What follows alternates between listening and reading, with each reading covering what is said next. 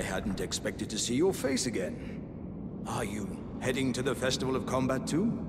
Oh, no need to be coy with me. Judging by the fine wallop you gave the old backside earlier, I would venture you're something of a warrior yourself. The mere thought of such a festival gets the blood pumping, eh? Now, now, according to my calculations, passing through this road should lead us to the Caelid Wilds. But, however you slice it, it seems we've reached a dead end. I'm sorry to have raised your hopes. It seems my calculations must have been off. I was created to be a warrior vessel. Many great warriors reside within me, ever dreaming of becoming a great champion. It's my destiny. And the reason for which I quest.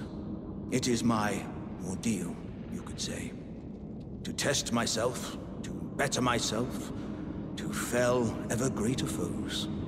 And then, one day, we'll be a single great champion. The greatest of them all.